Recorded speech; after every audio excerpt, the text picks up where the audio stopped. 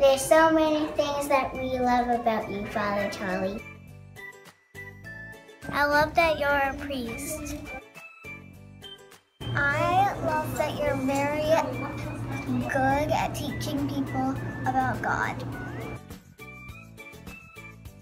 My favorite part about you is that you are respectful.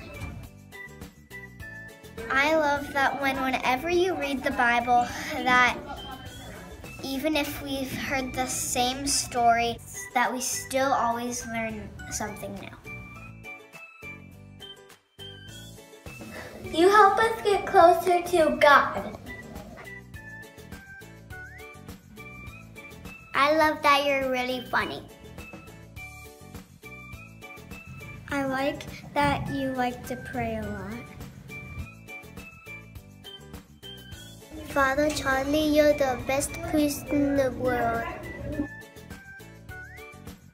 We're so happy that we can celebrate you today, Father Charlie.